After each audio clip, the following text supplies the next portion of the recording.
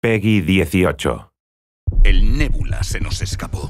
Esos putos nazis detonaron bombas de Nebula por todo el mundo. París, Londres, Moscú y ahora en Caldera.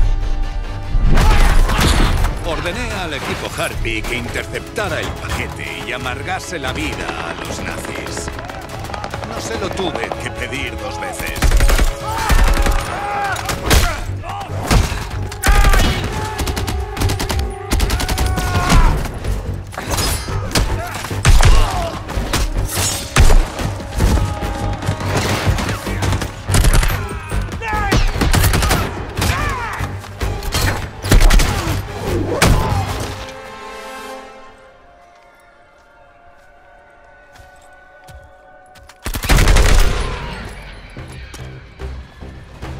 Pero ninguno divisamos la tormenta en el horizonte.